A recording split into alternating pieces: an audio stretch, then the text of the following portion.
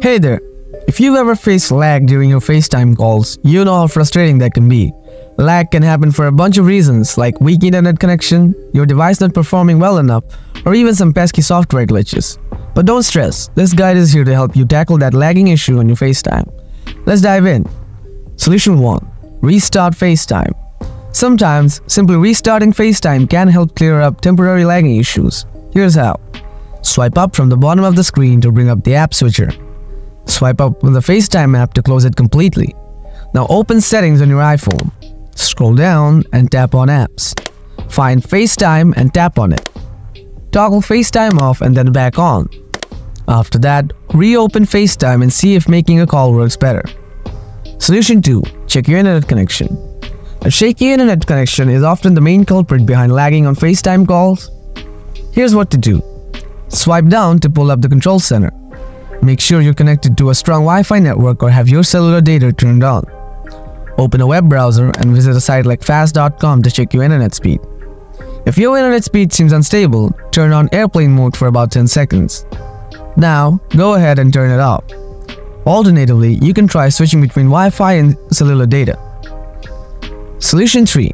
Enable background app refresh. Ensuring background app refresh is on can also help improve performance. Open Settings on your iPhone. Scroll down and tap on General.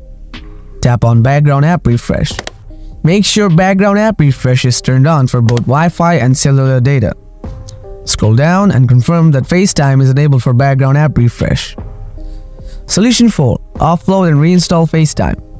If FaceTime is acting up, offloading the app can often do the trick.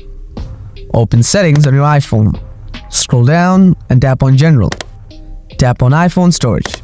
Before offloading, make sure you have enough free storage available. Sometimes, having too much storage can cause lagging issues. You can delete some unused apps from here if needed. Once you have enough free space, find FaceTime in the list and tap on it. Tap Offload App, then confirm your choice to offload the app while keeping your data. After that, reinstall FaceTime. Solution 5. Reset network settings. Resetting your network settings might fix any connectivity hiccups. Open Settings on your iPhone, scroll down and tap on General. Tap on Transfer or Reset iPhone. Then select Reset. Choose Reset Network Settings and confirm your choice. Once your iPhone restarts, reconnect to Wi-Fi and check if your FaceTime calls are more stable. By following these steps, you should be able to resolve lagging issues during FaceTime calls on your iPhone.